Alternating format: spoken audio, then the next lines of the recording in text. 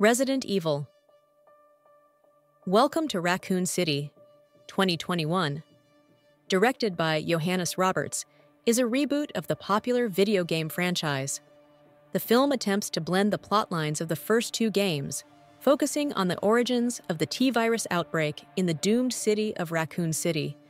Starring Kaya Scodelario as Claire Redfield, Robbie Amell as Chris Redfield, and Hannah John Kamen as Jill Valentine, the film aims to capture the horror and survival elements of its source material.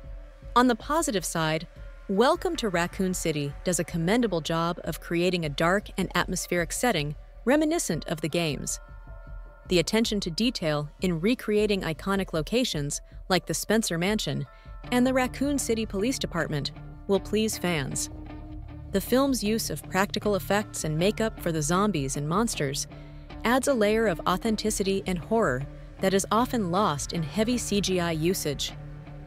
Kaya Scodelario and Robbie Amell deliver solid performances, capturing the essence of their characters and providing a sense of urgency and determination.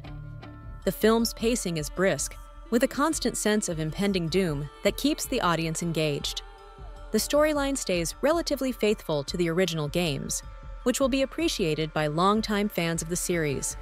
However, Welcome to Raccoon City struggles with its dialogue and character development. The script is often clunky, with lines that feel forced and unnatural, detracting from the overall experience.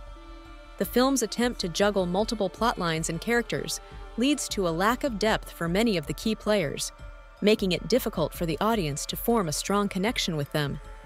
The film also suffers from a lack of originality, heavily relying on fan service and callbacks to the games, rather than developing its own unique story. This can make the film feel more like a series of Easter eggs rather than a cohesive narrative. The limited runtime also means that some plot points are rushed, leaving little room for tension to build. In addition, the film's action sequences, while entertaining, lack the polish and intensity of other modern horror films. Some scenes come across as predictable and formulaic, diminishing the overall impact of the horror elements. In conclusion, Resident Evil Welcome to Raccoon City is a mixed bag. It succeeds in creating a faithful and atmospheric adaptation of the beloved video games with solid performances and practical effects.